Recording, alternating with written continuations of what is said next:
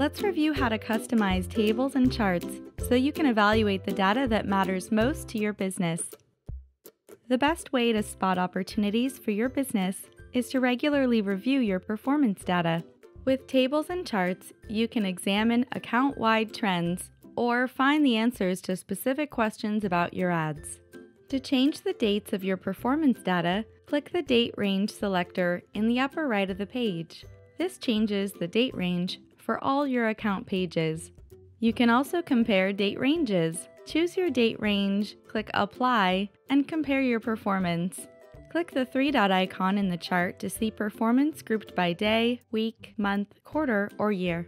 Hover over the line chart to see more information about your performance for a specific time. To add or remove table columns, reorder columns, or save a column set, click the columns icon and then click Modify Columns.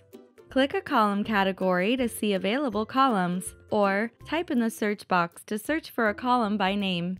To add a column, check its box.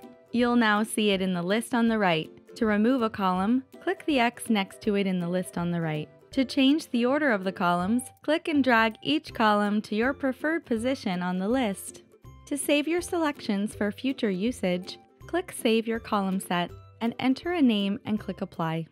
To resize a column in the table, click and drag the edge of the column header left or right. To sort your table, click the header of the column that you want to sort your data by. To reverse the order, click the same header again. You can segment your table data to break out what's most important to you. To segment table data, click the segment icon and choose which dimensions you want to use to split up your rows. For example, click Devices to see only devices data across all your ads and campaigns. Filter your table data to focus on what matters most to you. Click the filter icon and select what data you want to see. For example, you can select clicks, enter 10, and then click Apply. You'll see results that have gotten more than 10 clicks. A blue filter will appear at the top of the table.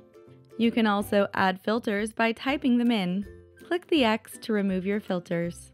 Segment and filter won't change the way your ads or campaigns are running, but will give you different ways of seeing your table data.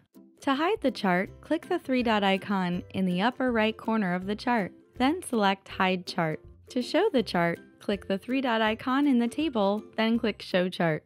To expand the chart, click the Expand Chart icon, click the Collapse Chart icon to return to the standard view. To change the metrics in a chart, click the drop-down menus in the upper right corner of the chart. You can view up to two metrics at the same time. If you have any filters applied, the chart will reflect only those affiliated metrics. To learn more about Google Ads, visit the Help Center.